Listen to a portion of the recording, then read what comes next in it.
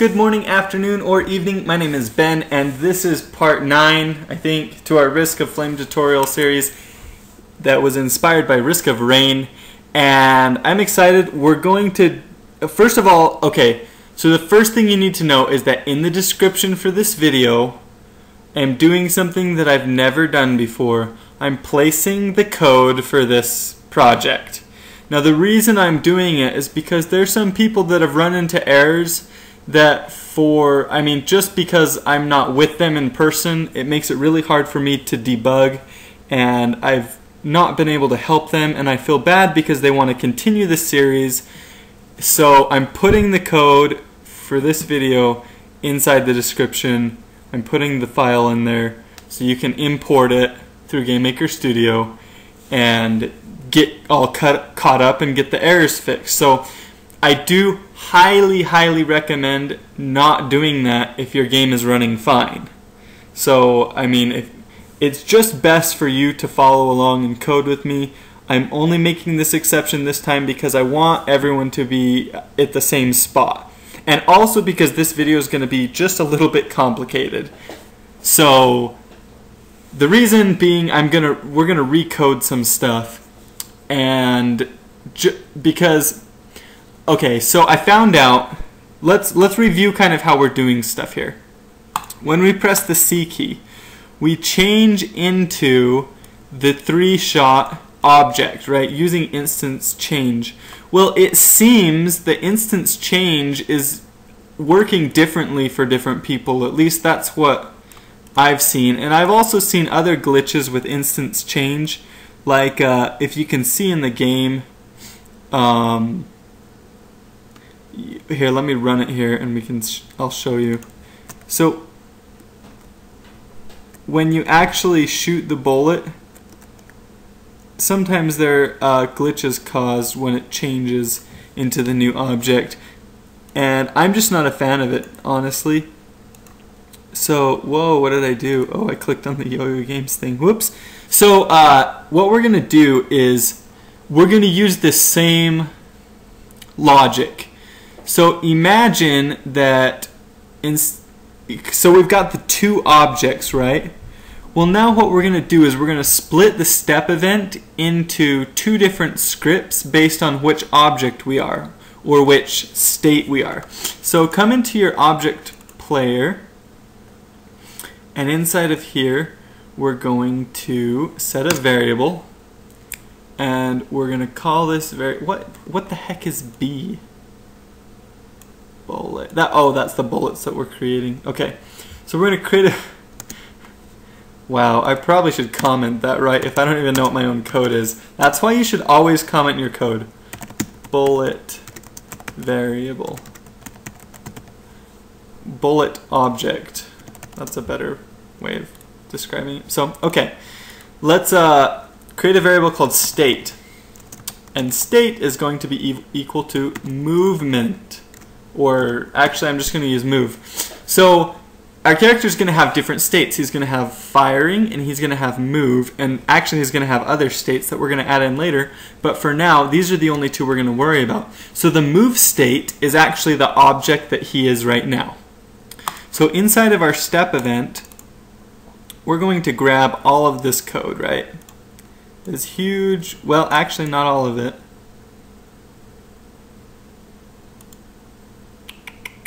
Let's see. Uh, keyboard, yeah, okay. So let's change this right here to if not place free x y plus 1.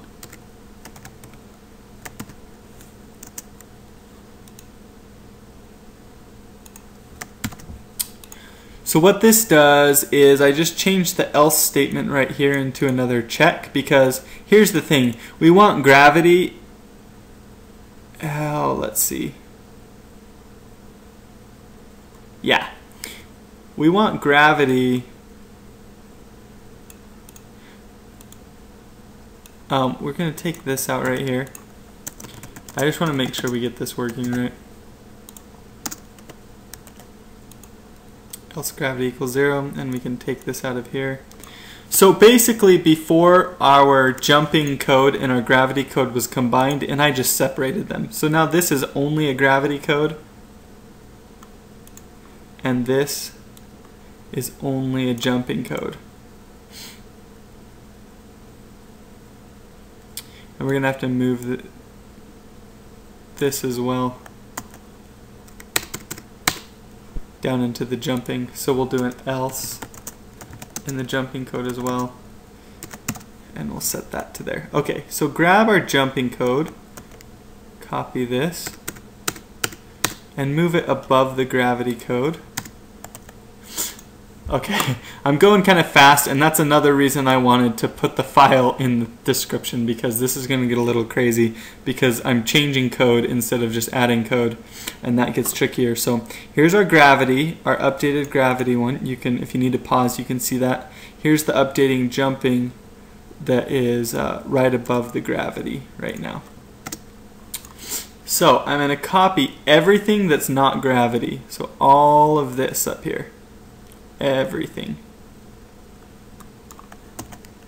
Okay? And we're just going to leave gravity in here. Now, I'm copying that. We're going to we're going to create a script. And we're going to call this script. I don't know if I, I haven't used scripts in this tutorial yet, but a script is basically just a code that we can call multiple times in any object, but I like to use them for organizing the code. So script, uh, player, move state. So this is going to be what our player does when he's in the move state. And we're just going to copy everything that was in that code down there and put it in here. And I've got an error somewhere. Um, there we go. I had an extra thing. So uh, if you need to look at this, I'm going to show you right here. You can pause. And then down here, you could pause if you want to try and copy that code. But like I said, I'm putting this file in the in the description. So that's our uh, move state. Now we're going to create another script, and we're going to call this one script uh, player three shot state. Awesome. And we're just going to put some brackets in here. You technically don't need to put those brackets, but I always do. It's just kind of my habit, and it doesn't really matter. So, let's see.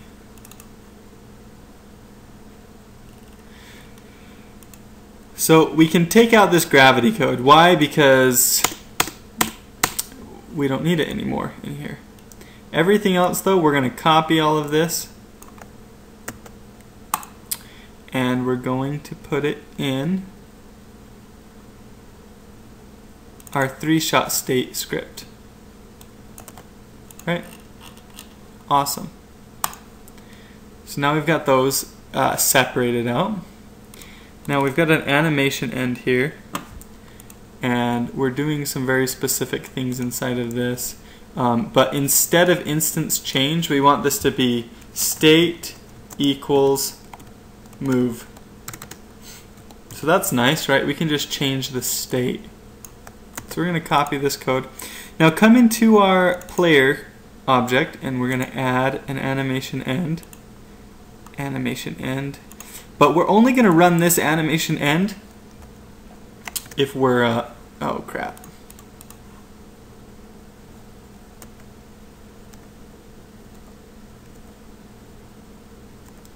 I hate it when GameMaker does that. Come on really? I know there's a way to fix it but I can never remember how to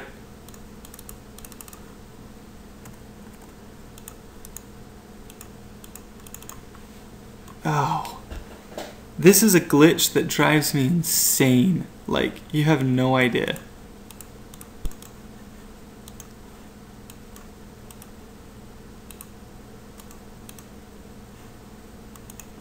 There we go. Got it. Just minimize it and bring it back up. Okay. So where are we? Uh, animation end script. Okay.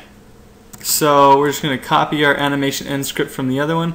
But inside of this, we want to do a check first. If state equals, use the comparison operator, uh, three shot. So basically we're only going to run this animation end code right here if we're in the three shot state. Right? So perfect. That's how we want to do that. Now we need to come into our three shot and what did we do? Oh, that's just canceling. Okay, awesome. So now we don't really need the three shot object anymore. I'm going to hold on to it for just a second just in case I forgot something, but we actually don't need it. And inside of here, okay, so inside of our step event, now is when we're going to split up the step event. Now the gravity, we want gravity to be effective no matter what object we are, right? So that's crucial right here. That's why we have this outside of our split step event. But now we're going to create a split up step event. So if state equals move, we're going to do something. Else if state equals uh, three shot, we're going to do something. And what are we going to do? Well, we've already got these scripts written out, which makes it nice and convenient and easy to use. Script player move state and script player uh, three shot state. Hopefully this works, right? I did this in my Grain War game. I, I switched everything from objects to a state-based system, which I've always recommended from the start, but it's been complicated, but I figured out a way to simplify it. So I was like, hey, look, this is pretty simple code right here. And it makes sense logically to me, so I thought, you know what, I bet that'll work for him. So I really like it, so I'm probably going to use this in every single game now where I split it up into a state system and then have different scripts for each state. So now what we need to do, we need to go into our key press for our player because we don't want to change anymore into that. We just want to switch states. So state equals three shot. Yeah, state equals three shot. That's it. So that's easy enough. And let's run the game.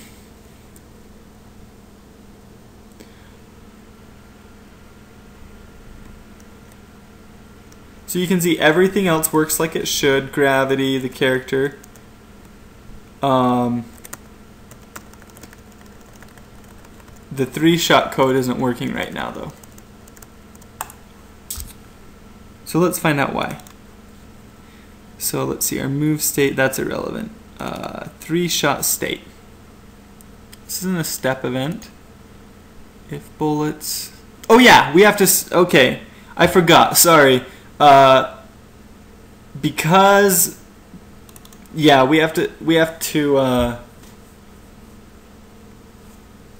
we have to switch to the new image index, right? Or the new sprite index. That's what we're doing wrong. So when we press the C key, image, or so let's see, sprite index equals sprite player three shot. Awesome. And we want to change back afterwards too. And that would be in our animation end.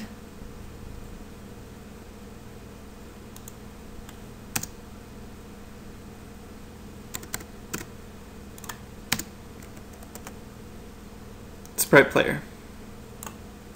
Okay, and one more thing we want to do is uh, we want to make sure that we can only press the C key if we're in the movement state. If state equals move. That way we can't, you know, refire our gun even when we're in the other state. So, let's run this one more time. Hopefully I don't look like an idiot in this one, like the last one. So we're running, can jump, everything works fine. We can fire the bullets. Ah, that's interesting though. If we're in the air, the image speed goes down. Do you see that?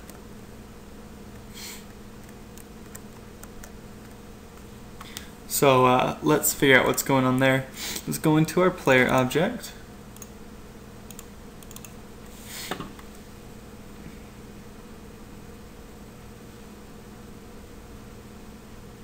Oh, it's that's a easy fix, I think. Yeah. If state, I hate putting another if state in here. State equals move, but this is really, oh crap. What did I do? Oh well, whatever. Uh,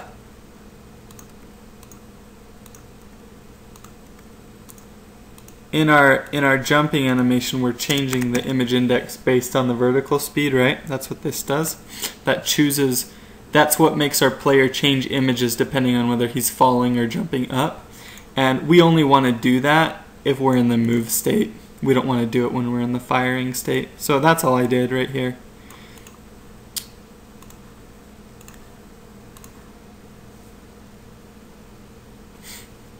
So I know this video doesn't feel like we're making progress, like as in stuff that's gonna make the game cooler, that we're recoding stuff that was already in it. Yeah, that works now. But what this does is this improves the game engine, and we're going to use this same state system to improve the enemy AI, so that when we fire on them, they actually like stall, or there's even a knockback. We could mess around with knockback and stuff like that. So uh, one of the other issues that somebody pointed out to me, and I don't know if I can, I don't know if I'm gonna have time in this video to fix it out, but to fix it, but we will actually be fixing this issue, is when the enemies fall on like that when they kind of freak out because they're on top of the player. So uh, I will fix that as well. And those two just got stuck inside of each other. So we'll be fixing that and we're going to be using the state system that we just switched over to to do that. But here, you want to know the nice thing about this? See our player 3 shot now? He is gone. You can delete that. Out of here.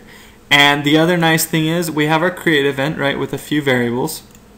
Now we've got a step event, and all it has is a state system right here that checks and then determines which which uh, which step event we want to run, depending on which state we're in, right, which script we want to run. And then we just control the gravity right here. So our step event is really simple. And then our collision event is going to be the same. The animation and this just switches back to the the move state if we're in the three shot state. And our C our press C it just switches to the three shot the three shot state if we're already in the move state. So it switches to that state. And we don't need that other object anymore. So that is awesome. And I'm going to save this game where it is right now. And I will upload the code for you guys and we'll switch the enemies over to a state-based system in the next one so that we can control their artificial intelligence a little bit better and add in some new attacks. We'll add in a special attack that can hit more than one enemy at a time. So these are th some things that I have planned for the next video. Thank you guys for watching and I will see you guys later.